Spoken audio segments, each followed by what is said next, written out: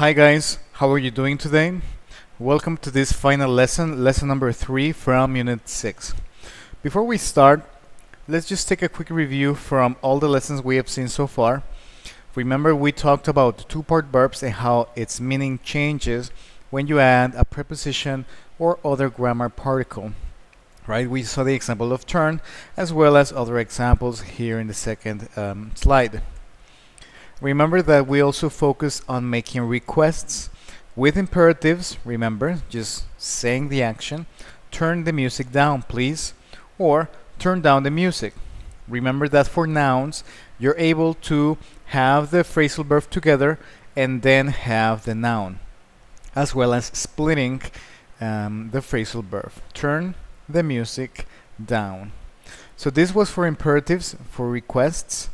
We also saw um, how you would say how you would say it with a preposition. In this case, I'm sorry, preposition, a pronoun with it, right? It, he, she, they, we, etc.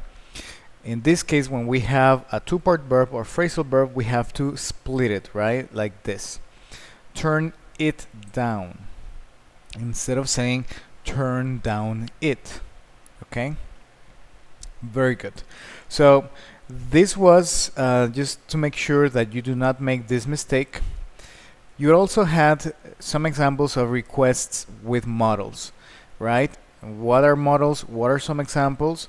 Can, could, and would. All right. So in this case, we have can, could. You please turn down the music. Remember that we can split this verb you, uh, and say turn the music down. Could you please turn the music down? And we also have the model would. Would you close the door, please?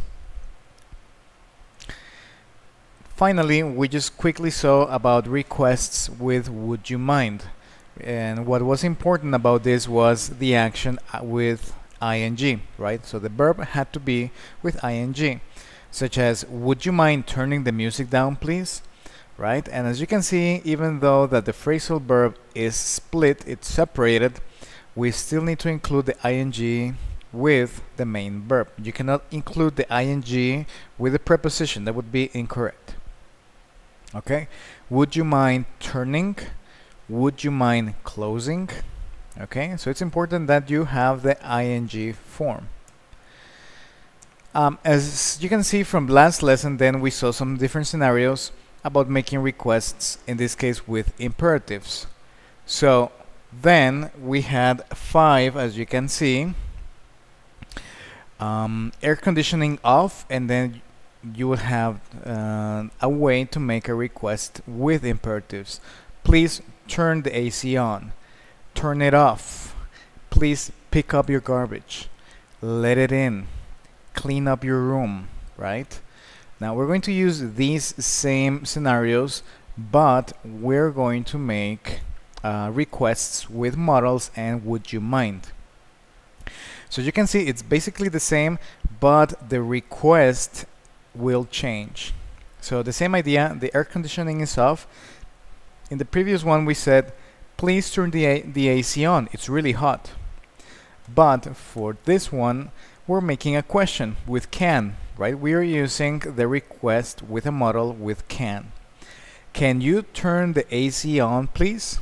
It's really hot, right? Can you turn the AC on, please? Number two, we had this scenario where the TV was on and nobody was watching it, right? And we said, the TV is on. Turn it off, please. We could also use a model, in this case, oh, I'm sorry, would you mind and then remember we have to use it with ing. Would you mind turning off the TV? Would you mind turning off the TV? Right? Turning. Would you mind? Number three, it says person throws garbage on the floor. Right? It's the same one. And here we said, I'm sorry, please pick up your garbage. But now we're going to use the modal could. So instead of saying please pick up your garbage or pick your garbage up, we would say, could you please throw the garbage out? Okay. Then, in the fourth scenario, the cat is outside. It wants to enter the house. For the previous one, we said, the cat is outside. Please let it in. For now, we're going to say, would you mind letting the letting in the cat? Okay, as you can see, we have would you mind and we have ing.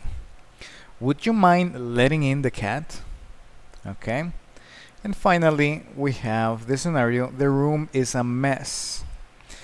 The same one before, but here we just had clean up your room, please.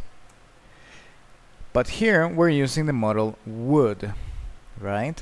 So we would make a question, would you clean your room up, please? Again, we have the phrasal, the phrasal verb clean up and we have the noun in the middle. Would you clean your room up, please? Okay, so that's the difference between making requests with questions such as models and would you mind compared to a simple request with an imperative, the ones you have right here. Alright, well, this is the end of the final lesson. Remember to do the activities that are in the platform and in order for you to practice. Okay, so have an excellent day. See you for the next unit. Bye bye.